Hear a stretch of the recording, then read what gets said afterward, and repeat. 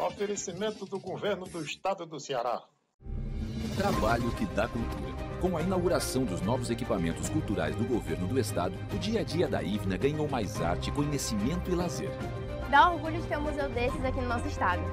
Com o novo Museu da Imagem e do Som, a Estação das Artes, a Casa do Cego Aderaldo em Quixadá, o Centro Cultural do Cariri e tantos outros, o governo democratiza o acesso à cultura, fomenta a economia criativa e promove a cidadania dos cearenses. Governo do Ceará. Trabalho que dá resultado.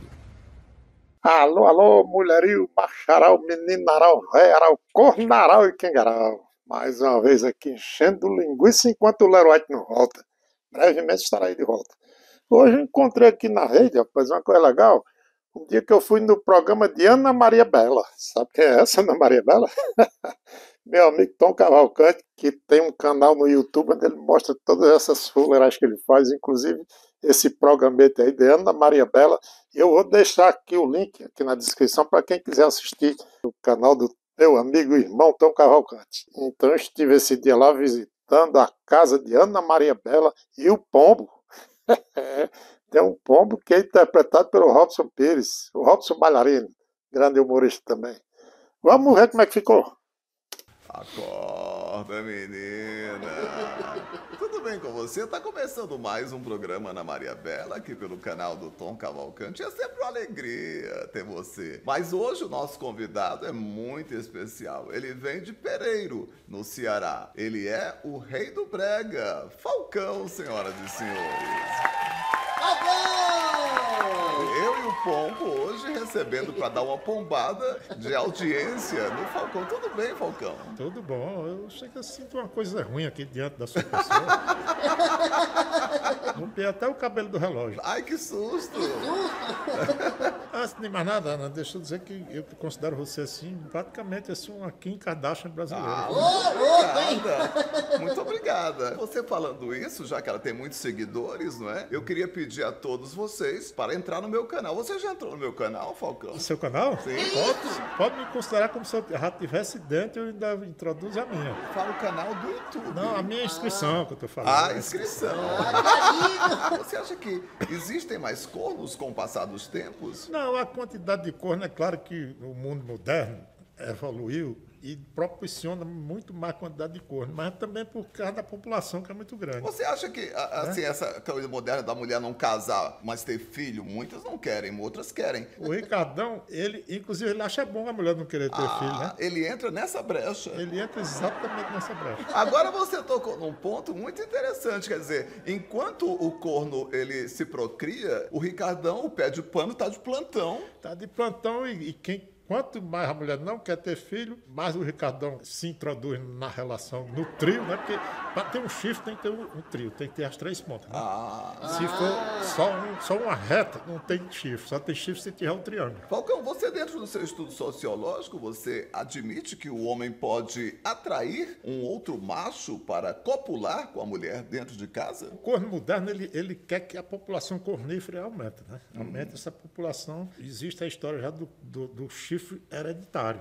Ah. Cabra já nasce com o gene do chifre. É, Pombo, você já foi, é, é, é, passou por isso já na vida? Já foi corneado, Pombo? Eu já fui pombado, eu falo, eu admito, eu já fui pombado. Agora é o seguinte, no reino animal, Sim. Ainda é pior porque pode vir outro bicho de pena que não seja pombo. Pode ser um gavião, pode ser um falcão. Pode ser um jumento. Um jumento. Não. O jumento não tem pena, você sabe. O jumento não tem Ele pena. Ele não tem pena nem da mãe dele, né? Nem mesmo. É, eu vou pedir ao Falcão, depois dessa aula não é, inicial, para cantar uma música de corno, para a gente poder levantar o astral do corno que está é, se inscrevendo nesse instante no nosso canal. Isso é importante, isso é importante demais. Muito importante. Corno... Preservação do corno é importante no planeta. E tem mais o seguinte, segundo a Declaração Universal dos Direitos do Corno, primeiro artigo, Sim. Todo corno tem o direito de ser tratado como gente. Olha, que lindo, gostei! Canto esse brega rasgado só pra me lembrar de alguém que eu amei. Que me botou tanta ponta e eu não sabia, mas agora eu sei.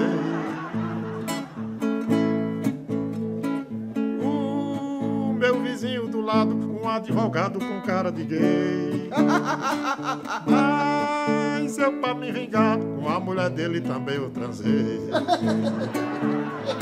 Sensacional. Esse é o Falcão que eu conheço. Eu faria até uma, uma, uma versão, assim, se você me acompanhar. Sim, né? sim. do, do- do que ficou no meu ouvido. Ah. É. Eu levei uma pombada do pombo, pombo, pombo, uma pomba. É. Corno abriu as asas, entrou a pomba. Fiquei muito triste. Quando o pombo baixou a guarda, entrou foi uma rola. Que isso? Que isso, Que também Ana? não deixa de ser um animal também pombiforme, a rola, né? Falcão, existe um projeto de lei que está sendo votado no Congresso para imitar aquela corrida de touros que tem na Espanha. Aqui no Brasil, eles querem lançar a corrida de cornos. Você já tem conhecimento disso, Falcão? Tenho conhecimento e, antes de mais nada, quero dizer o seguinte, que é praticamente voto vencido porque são os próprios cornos que estão votando, né? Ah, lá em Brasília. É uma marcha chifral, né? Até Brasília. É uma romaria, né? É uma romaria, Romaria uma de chifraria.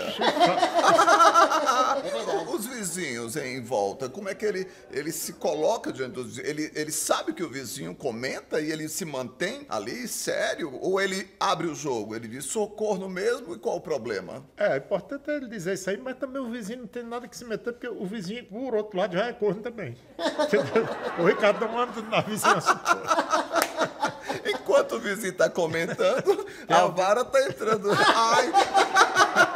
O chifre também ele serve como arma. Com certeza. Um homem sem chifre é um homem indefeso, né? Todo mundo sabe disso. Olha que frase linda, hein? Existem casos de homens que já casaram seis vezes e foram corno as seis vezes. O que acontece com isso? Pode ser o cara que, que tem essa tendência. E esse cara, eu digo pra ele o seguinte: isso é um herói, não desista, meu amigo, não desista.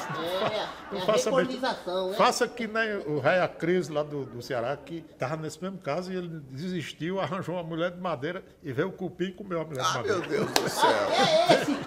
Ah, meu... Nem a de madeira escapou. Gente, é, nós estamos fazendo essa série, não é, que chama-se Cornologia, ao lado do sociólogo e rei do brega Falcão. E esse é o primeiro programa, mas outros programas virão. Então, assim, a gente quer agradecer a presença de todos os cornos que estiveram conosco aqui no canal. Se inscreva, dê uma chifrada no nosso canal, deixe seu chifre, acione o chifre, tudo isso. E para encerrar, o Falcão vai fazer aqui uma homenagem ao pombo corno. O próprio pombo vai cantar pra nós. É eu mesmo? vou acompanhá-lo só. Pombo correio, voa depressa.